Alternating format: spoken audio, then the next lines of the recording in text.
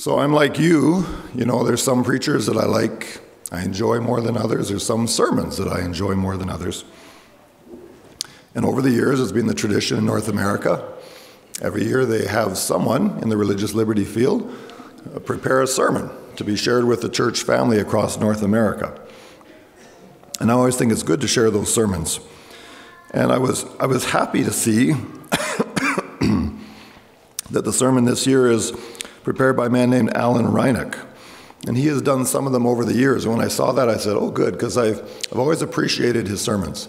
I found them balanced, I found them um, challenging, I found them um, very, um, uh, I don't know what the word that was in my mind just left, but um, I've just felt that they give a good perspective of the religious liberty work, and uh, I appreciate them. So I'm going to share his sermon. It's his sermon, not my sermon. It's, um, it's not a great voice. Thank you, Carl, for the prayers. I'll do the best we can here, and hopefully God can help you hear through my voice, as gravelly as it is. Alan Reinach is the executive director of something called the Church State Council, which is the religious liberty, educational, and advocacy arm of the Pacific Union Conference of Seventh day Adventists. So he's a licensed attorney, he's an ordained Seventh day Adventist minister, and he also hosts a nationally syndicated weekly radio broadcast that's devoted to religious liberty issues. He's been doing this for about 25 years. so he's very well, very well experienced and versed in this field. And I, I appreciated this sermon. It's, um, I think it's thought provoking, and it, and it provided, I think, some good balanced overview and, and a challenge. Certainly a challenge for me. It makes me think. I hope it'll make you think as well. In 1991, the federal authorities conducted a military style operation on American soil against a minor religious offshoot that had been derided as a cult. The group was isolated, they really had no lines of communication. Their leader was accused of child abuse, even though there had been no formal investigation and no criminal charges had actually been filed. The initial assault on the group's compound was met with return gunfire leading to a standoff that lasted for several weeks. And of course, if you, if you have a few years under your belt, you probably know what this is referencing. Eventually, the federal authorities broke the siege with tanks. They set the compound on fire, and really a holocaust ensued. Dozens of people were killed, many of them were burned to death, including women and children. It was, uh, it was a very shocking event. I remember when that happened. I think it was 1993 that happened, or somewhere around there, 1992, something like that. But Mr. Reinach suggests that there are some important lessons for Seventh day Adventist Christians from that tragedy that was suffered by the Branch Davidians in Waco, Texas. When the crisis came, those Davidians really had no friends to speak of. They were cut off from the outside world. They really had no venue, no opportunity to communicate their side of the story. Now, as Seventh day Adventist Christians, and our understanding of the Bible, our understanding of Bible prophecies, we expect a crisis to come for us before Christ returns. We read in the Bible that things are going to come to a head. There's a battle between good and evil, and we feel that we're going to be in the mix. And we interpret Revelation 13, where Carl read from our scripture reading. The prophecies in there we interpret to warn of a crisis concerning the enforcement of Sunday as a day of rest and worship and with legal restrictions and monetary sanctions imposed on dissenters. And so the question he asks us to consider is will we have a voice when the time of crisis comes? Will we have a voice? He suggests that too many Adventists indulge the temptation to speculate on when or how Sunday laws will come about. But you know what? The Bible doesn't tell us. It doesn't. Ellen White doesn't tell us. God hasn't told us. So, what does that mean? Maybe that means, I guess, maybe we're not supposed to know. Maybe that's not the most important thing for us to know. Perhaps it would be better and more important to ask ourselves what are we supposed to do with what we do know? Sometimes it's easy for us to speculate on the things that we can't know instead of working with what we do know. If we know that a crisis will come, how do we prepare for that in the context of religious liberty? The public affairs and religious liberty ministry of the Seventh day Adventist Church is vitally important in preparing for the coming crisis. You know, our church has a very good record in this. In the religious liberty realm, when they talk about the players in that, Seventh day Adventist Church's name always comes up. We have a very long, probably the longest history in this. We have a good record. And it's an important thing. The first and most obvious way is that the church defends the principles of liberty and conscience for all peaceful, peaceful people of faith. Religious persecution, religious freedom, those two things cannot coexist. You cannot have freedom and persecution together. Our success in preserving religious freedom serves, I guess, as an ounce of prevention, maybe a pound of prevention. But the Adventist Religious Liberty Ministry is not really grounded in our beliefs about last day events. I thought that was interesting. It's not really about last day events, but he suggests really our religious liberty ministry is much more founded, our basis for it is the core gospel principles. It's really a gospel issue more than a last day, how do we protect ourselves issue. It really comes to the core of what the gospel is about. Think about it. From the beginning, God gave humanity freedom. You look back at the opening book in the Bible, and we have that scene that we can read about there in the Garden of Eden. Tree of knowledge of good and evil, the most dangerous spot on planet Earth at that time. The most dangerous place ever. Now, today we're pretty good at protecting dangerous places, right? Um, I remember he, he listened to him do the sermon. He, he said lawyers have had a lot of influence in that. But we protect dangerous places because we don't want to get sued. We put guardrails on winding mountain roads and we put barbed wire fences to keep children away from train tracks and dangerous places. We do all kinds of things to try to keep people safe and not sue us.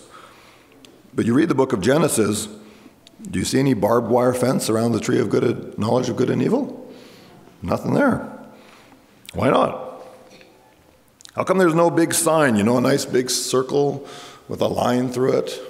You know, the, the, the symbol for, for not, you know, like, why isn't there a big sign there, flashing sign, do not eat, do not eat? Why didn't God put a reminder sign? Why didn't He put a fence around the tree?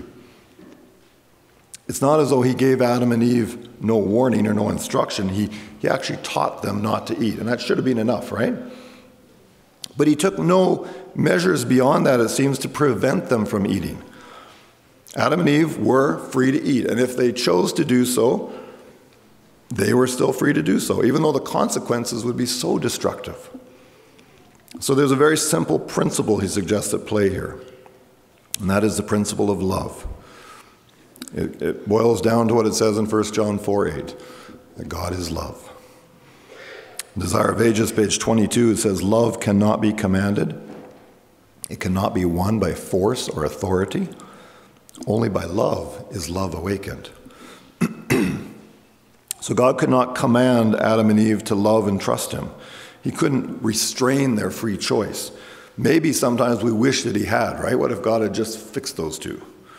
And if you're a parent, there may no doubt have been times when you have been perhaps tempted to pray that God would fix your kids. You know, just rearrange the brain chemistry a little bit, rewire them, fix them from the inside out, make them perfectly happy, holy, healthy, obedient little cherubs. Have you ever wished for that? Uh, yes, that was heartfelt. Even if you're not a parent, you might have been tempted at some time, maybe in, in a time of discouragement, maybe to say that prayer for yourself. I just said, man, God, I wish you could just redo me. And, and I guess, yeah, the omnipotent God, he could have done that. He could have just wiped Adam and Eve's memory bank clean and started over, kind of a do over, re- rewire them. But that wouldn't work with love. Love cannot be coerced because God is love. God gives us freedom, then, in a sense, because he has to. He has to because it's his nature, it's his character to permit us to love him and also to permit us to rebel against him. He cannot, in fact, he will not force us. And that's why Jesus had to die on the cross. So, did God know what was going to happen when he created Adam and Eve? Did he know there was going to be some problems? Yeah, he knew that. That's, I think, why Revelation 13 refers to him as the lamb slain from the foundation of the world.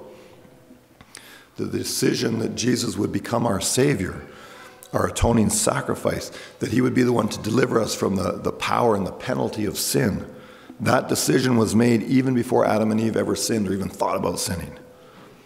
So, from that perspective, religious liberty is an essential component then of the gospel itself. It's not some sideline of interest that we're involved in. It, it really ties into the heart of what Christianity is about. Jesus paid the highest price on account of our freedom. So when we as a church work to protect and defend religious freedom, then in essence we become like the gospel in shoes. We defend religious freedom not just for ourselves, but we defend it for everyone for the people that don't believe as we believe, people that maybe even hate what we believe, for everyone. And we have been doing that as an organized church in an organized fashion ever since we first organized something called the International Religious Liberty Association, and that was back in 1893. We have a very, probably the longest history in this work. Last year, the IRLA, as it's known, conducted its eighth World Congress, and people came to Florida from 65 different nations scholars and activists and government officials and pastors and, and church members. And they came together to work on creating a world where people of different faiths can live together in peace and mutual respect. It's a worthy cause. And is that work needed? Yeah, it's probably needed now more than ever. You know, 70 years ago after the Holocaust, world leaders came together and they drafted something called a Universal Declaration of Human Rights. Have you ever heard of that? Universal Declaration of Human Rights. The effort was led by who was at that time the First Lady of the United States, President's wife, Eleanor Roosevelt. And every nation that has joined the United Nations since that, which is pretty well almost all of the nations, they have officially signed on to that Universal Declaration which means that human rights have now become enshrined in international law and in diplomacy. So, isn't that good? When dictators or terrorists violate human rights, they know that they face the wrath of the international community. Isn't it nice to have that in place? United Nations, human rights, everything's good in our world. Yeah. Article 18 of the Universal Declaration protects liberty of conscience, religion, and belief. That's what the world community has said, that's what should happen. At least that's what we've said should happen. But despite some of the amazing progress that has happened on human rights, ironically, religious freedom has actually deteriorated around the world. It's not better, it's actually worse. In fact, today, 75% or more, three quarters or more of the global population live in nations with little or no religious freedom. If you spent your whole life in North America, like I have, you kind of probably take it for granted, you know, the freedoms that we enjoy. You might think that that's normal. It's not normal around the world. I don't even know how long it's going to be normal here in Canada because I see things changing in ways I haven't seen before in my life kind of disturbing. But what we have here is so much better than what most people have. They do not have the freedom to choose. Many in those nations, yeah, they can remain a part of the majority religion, but if they should make the choice to convert to another faith, they face severe consequences. And so the Adventist work of protecting and defending religious freedom, it's needed. It's needed now more than ever. It's not something that's all taken care of. Mr. Reinach suggests that the global situation implicates another value of religious freedom, and that is the Great Commission. It's interesting to see how that can tie in with this. You know, Jesus, you know the Great Commission, Matthew 28, right? Jesus taught his disciples to go out into all the world for a witness, teach, and baptize, right? We've tried to do that. Adventists have tried to do that. We've tried to go around the world, preach the gospel, raise up churches. We've done so in more than 200 different countries. We're really ahead of a lot of other Christian groups in that. Praise God for what's being done. But there are countries where it's still very difficult to preach. It's almost impossible to have a church there. In fact, you might have heard just last year, Russia did something unexpected. Country of Russia banned the Jehovah's Witnesses seized all their bank accounts, shut down their churches, just decided, boom, you're done, we're taking all your stuff. Kind of scary. No, but it's just them. No, it's not just them. Frankly, Seventh day Adventist leaders there fear that they may soon suffer the same fate. So let's return to the lessons of Waco then, for this brings us to the public affairs aspect of the religious liberty ministry. Religious minorities, and we need to make no mistake about it. We as Seventh day Adventist Christians, we are a minority. We really are. We, um, you know, we have these millions of people around the world, and we're all over the world. But on the global stage, we are small fries. We're a small group. We're, we're, we're not big compared to many other things in the world. We are a minority. And that means that we need to work in coalition with others to protect and defend religious freedom. We don't have the numbers, we don't have the power, we don't have the money to succeed on our own. We can't carry this whole thing on our own. We're just going to do it all by ourselves because we're the only ones we trust. It's too big. We're too small and it's too big. So Mr. Reinach, who's been working on this for a long time, says that in our organized ministry, we do tend to collaborate with many other groups, both on the liberal side of things and the conservative side of things. I'm not talking about Canadian federal and provincial parties, but, but on a broader scale than that. And interfaith work has been compared to sandlot baseball said every week we pick up teams. One week on one issue, maybe where we as Seventh day Adventist Christians in the religious liberty work stand, maybe we're kind of more standing sort of on the side with the conservatives.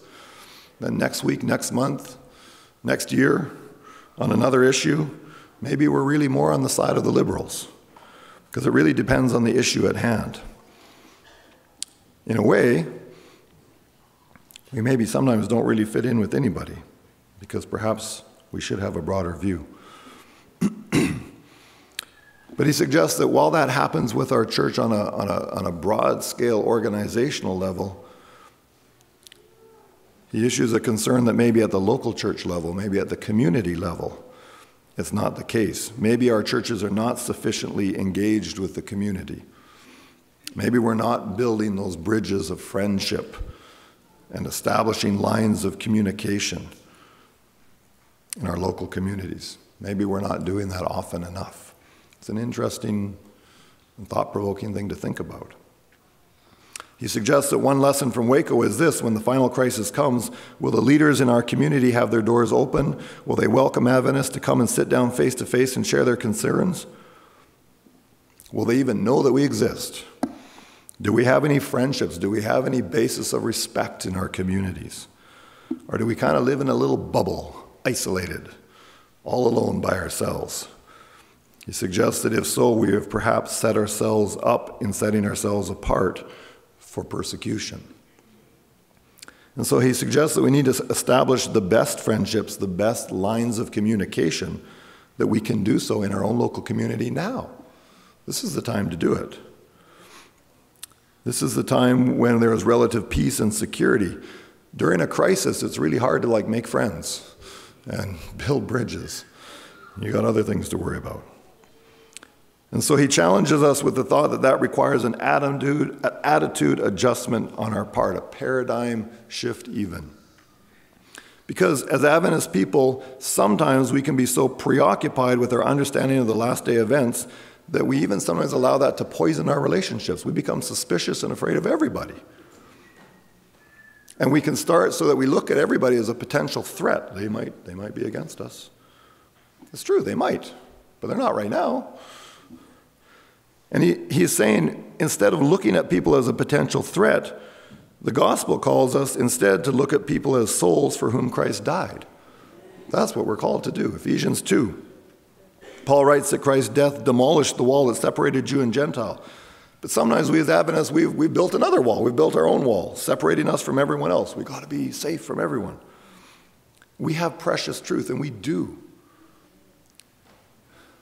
I don't want to be a part of any other church because I believe this movement has a, has a, a perspective and an understanding on, on prophecy and Bible truth and a whole picture of relationship with God that I don't see anywhere else. And that doesn't mean the others are less than us, but we have a we have a calling from God as a movement of people. We're not, I don't think we're just another church. We have precious truth. But what do we do with that truth? Do we, do we, do we fortify ourselves in isolation? He says this truth should make us all the more eager to build bridges of friendship with others so that we can enhance those opportunities to share that truth. Having truth shouldn't make us stay away from everyone, it should make us reach out to everyone. Instead, too often the truth creates barriers, and we treat those not of our church as outsiders. We have a good word for them, right? What do we call them? Non Adventists. Mr. Reinach suggests, how would you like to be called a non? A non anything. Maybe it's not the best terminology. So he suggests a fresh look at some key scriptures. First of all, Matthew chapter 5, verses 43 to 48, where Jesus says, You have heard that it was said, You shall love your neighbor and hate your enemy.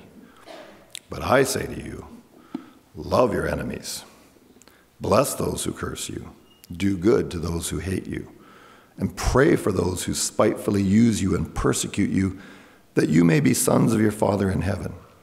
For he makes his sun rise on the evil and on the good, sends rain on the just and on the unjust. For if you love those who love you, what reward have you?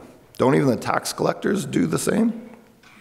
If you greet your brethren only, what do you do more than others? Don't even the tax collectors do so? It's like the tax collectors are the lowest you can get, right? And then it says, therefore, Jesus says, therefore you shall be perfect, just as your Father in heaven is perfect. Now, historically, for us as Seventh day Adventist Christians, if we look back in some of our history, it seems that our concept of perfection probably too often emphasized performance as opposed to attitude. But here, if we look at what Jesus is saying, he clearly establishes that our perfection, or another way to say that, our completion, is really a function of our compassion, our love for the ones who are the most difficult to love, which would be even our enemies. Does anyone here have any enemies? Two whole congregations, first service and second service, and I'm the only person with enemies. You people are so far ahead of me. Good for you. Hypothetically, if you had an enemy, do you think you would love them? I know it's hard for you to imagine because you don't have any. Do you think you would love them? I mean, come on, is that possible? Can you even love them? You love your enemy? Is Jesus asking the impossible? And perhaps the answer is found in Romans 5 8. It says, While we were yet enemies, Christ died for us. He's shown the way. I don't think, really, frankly, most or probably any of us have the ability to love our enemies. That's just not normal human behavior. But only the love of Christ in our hearts can do that. With Christ, we can. The famed German theologian Dietrich Bonhoeffer was writing about that verse in Revelation 3. You know, Revelation 3:20 says, Behold, I stand at the door and knock, and if any man hear my voice and open the door, I will come in to him and will sup with him, and he with me.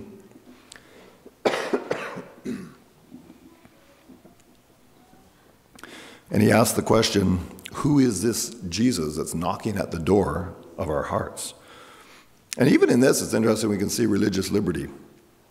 You know, we see Jesus here. Look at how, I mean, we're in a world right now where, like, every week, every day almost, there's a report of yet another person, some man, who has used his position and authority to abuse and manipulate and exploit some woman, right? I mean, it's just, it's, it's, it's almost endless.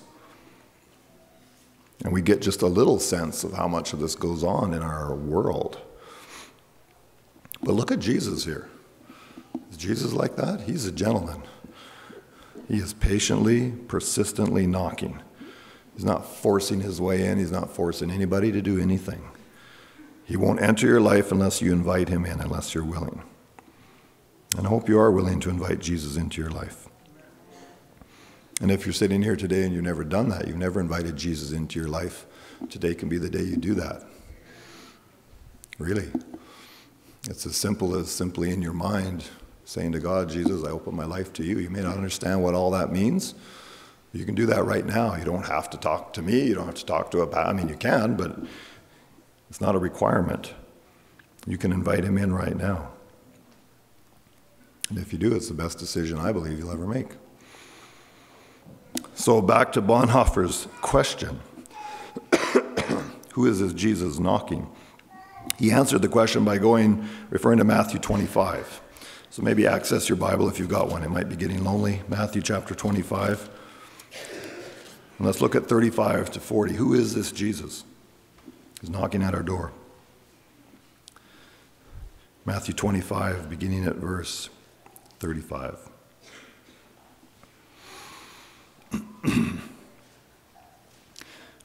says, For I was hungry, and you gave me something to eat.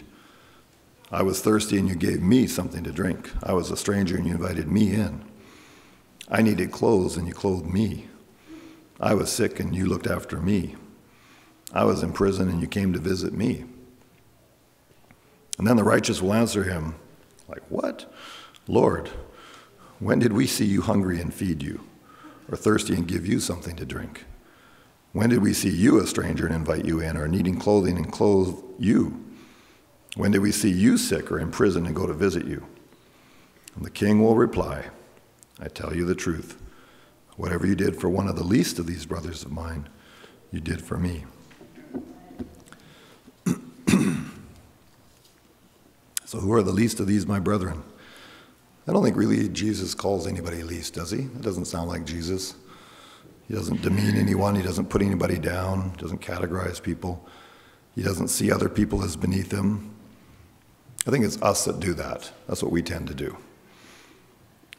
Jesus calls them the least probably for our benefit because we can understand that because we all have that tendency as humans to see someone else as somehow lesser than ourselves, somehow beneath us, somehow lower class, lower something. We just have that tendency to find a way to always look down on the other guy, the other girl and somehow see ourselves better. And none of us are immune to that because we all have biases. Make no mistake, in the new covenant, God promises to give us a new heart and a new spirit. And so Jesus here defines that new heart and that new spirit in terms of our compassion for the ones who are naked and sick and in prison. And Jesus tells us very plainly that we need to see Jesus in the most unlikely people, at least the ones who seem unlikely to us. This is a challenging thought. It's challenging for me. Because I see some folks, and it's not natural for me to see Jesus in them. It requires an attitude adjustment on the part of the entire church. It means abandoning any vestige of this kind of us versus them mentality. Instead of separating ourselves, building walls, we're called to build bridges. Instead of seeing others for how they differ from us, whether it's in belief or race or national origin or whatever, it's learning to see Jesus in them that's a learned behavior. The more we learn to see Jesus in them, I thought this was a profound statement that he made. the more we learn to see Jesus in them, the easier it will be for them to see Jesus in us. That made me think. And then he took it a step further. He said, It may be that others will be unable to see Jesus in us until we learn to see Jesus in them. You can do some reflection on that. So he speaks a little bit from a United States perspective about living in a polarized nation. And I think it's a little bit different for us in Canada. I think there's some similarities, there's some differences. I think you have the, the kind of religious right conservative side in Canada and the, the kind of secular left liberal side as well. But I think the balance is much different. I think in Canada, the, the kind of conservative religious right side has become a, a much smaller component. so maybe it seems like the battle doesn't wage quite in the same way here as it does in the States, but it's still there. so, speaking of his nation, he says liberals and conservatives hate each other. We don't talk to each other. We're engaged in a culture war fight to the finish. And Adventists have eagerly joined these culture wars, even though that's not our battle. And I wonder about us in Canada, you know, in a society that is increasingly secular increasingly liberal from the perspective of values and morals. I wonder how prone we are to just buy into that more and more. I know we are, because I hear what people in the church say. And sometimes I'm like, what? How do we say that as a Christian? But we are so inclined to jump on board, right? But it's interesting who we are as Seventh day Adventist Christians if we keep this in perspective. We're really neither the secular left nor the religious right. We don't really fully identify with either side. We shouldn't. I think he's, he put it that um, we're, in the, we're in the lonely middle. That's where we should be. Because our aim should be, and what we want it to be, is to protect the liberty of conscience and religion of everyone, believers and unbelievers alike. And frankly, in our society in North America, that's getting less and less. You don't hear too much of that. Liberal and conservative protagonists in the culture wars, they want to protect their own rights, not the rights of others. There's not so many people anymore saying, you know what, we all should have our freedoms protected. And that's where we as Seventh day Adventist Christians can be a balance. But it's easy to get caught up in the rhetoric and the fight. And an interesting thing that he pointed out, he said, in that kind of a climate, that, that uh, battle, and maybe it's even more so the case for us in Canada. Uh, I know it's late. I'm, I'm really pretty close to done, so be of courage. maybe this is even a bigger issue for us in Canada. Because he, he raises the question in, in this climate of kind of the right and the left, the conservative liberal, where nobody seems to care about anybody else's rights except their own. He asks the question Do unchurched secular people have then a positive image of Jesus? And I think it's a bigger deal for us because much more of our society is the secular non believer. So, do they associate Jesus with hatred and bigotry? Now, that may not be an, a fair or appropriate uh, analysis that they take, but it is a reality. A lot of people who are not in the Christian realm, they don't really often have great thoughts about Christians. So it's not accusing conservatives of being full of hate and bigotry, because there's plenty of bigotry on both sides. Moral equivalence is appropriate. Liberals and conservatives are capable of equal doses of intolerance. But what we need to think about is if our, if our deal is to share the gospel message with secular folks, are they getting a fair shot at seeing Jesus by the way Christians react to things done wrong to us and even things done wrong to them? Preaching alone isn't going to change that. They're not going to come listen to these sermons. They frankly are not going to come to an evangelistic series of meetings the way we've traditionally done that. What that means is if we want to have the opportunity to give them a true picture of Jesus and the gospel, it puts a lot of weight on our personal shoulders. It becomes a personal thing. It means becoming the hands and the feet and the ears and the eyes and the heart of Jesus in our community. means going out into our world, into our community, not just to teach things, but to live the love of Christ and serving our community. Going out and seeing those we regard as least in our own town, our own neighborhood, our own big city here, and actually choosing to see them as Jesus and treat them as Jesus. It's hard to do, it's not easy for me to do. Give them a cup of cold water, feed them, clothe them, love them as we would Jesus. He's suggesting if we want to have any hope of sharing the gospel with them, it's not going to be by entrenching ourselves in our rights. It's trying to build bridges. And he said that, in short, represents both the public affairs and community services ministries of the Adventist Church. If our church is to take this attitude adjustment seriously, then it comes back to learning the first lesson of Waco, establishing the best lines of communication that we can now before a time of crisis with the leaders in our community making sure that when a crisis comes, hopefully the doors will at least be open to us because they'll know us as loving and lovable Christians, persons of faith and integrity, and maybe that will afford us the opportunity to have our concerns heard. We know eventually it'll come to a head, but in the meantime, build bridges of friendship, seek new ways to serve our community, pray and work to become the hands and feet and heart and soul of Jesus in serving our community. He suggests that that approach to public affairs, it's not just a legal thing for in court, is the best way to preserve religious liberty, but it's also essential to our Great Commission to bring the knowledge of Jesus to every kindred, tongue, people in this hour of God's judgment. It's 106. I have some stuff here about Canada, but I'm not going to um, go through all that because I might be alone by the time I'm done. But I will tell you this: if you want to, if you want to um, kind of keep up with some of the, the honestly shocking things that are happening in Canada, um, a good place to do that is is to hook up with Barry Bussey's uh, blog. He really does a good job of updating that and uh, really keeps things up to date. You can just punch in Barry Bussey uh, online and, and get connected with some of the information. You know, we I hear. Um, I don't know. I've become quite disillusioned with all of government parties, but you know, I, I was thinking. You know, we hear like, well, the government we have now is really good for immigrants, and maybe so, maybe so. But a government that says we're going to go and try to abort and make sure you don't have any more babies in your country so we don't need you have you as immigrants anymore. And some of the some of the like I've never seen flagrant um, stabs at Christian freedom that our government is taking, it shocks me. And I wonder what kind of country will this be to immigrate if things continue for a while? So it's a challenging thing to think about. Here in Ontario, 2012, Globe and Mail,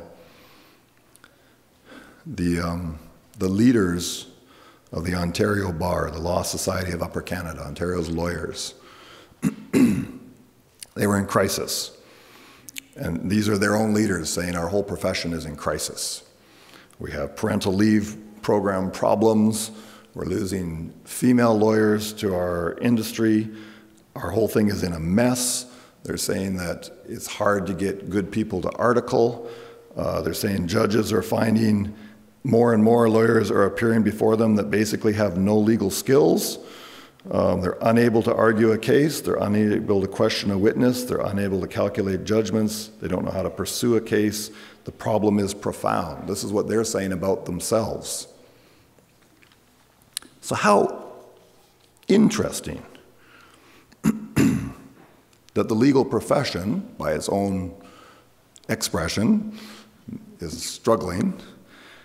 How interesting to look at Trinity Western University, this university, Christian university in British Columbia, applies to have a law school, and everything's in place, but the whole legal establishment in Canada fought, fought, fought against that. It went through all the levels of court.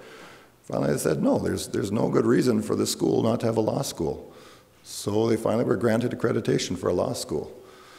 So then the Law Society of Canada, or whatever it's called, says, well, let's, um, let's ask all the provincial uh, law societies to ban all of their graduates. And British Columbia, Nova Scotia, and Ontario went after that. British Columbia lost. They lost in the Court of Appeal, the Supreme Court for the province, and just last month it went to the Supreme Court of Canada. Nova Scotia lost they lost in the appeal and they decided not to go further. But here in Ontario, good old Ontario, here we are, center of the universe, it was the opposite. Trinity Western lost. And they lost again. And the Supreme Court was inter- interesting. Last month, they're hearing BC saying, overturn it so that we can shut these guys down.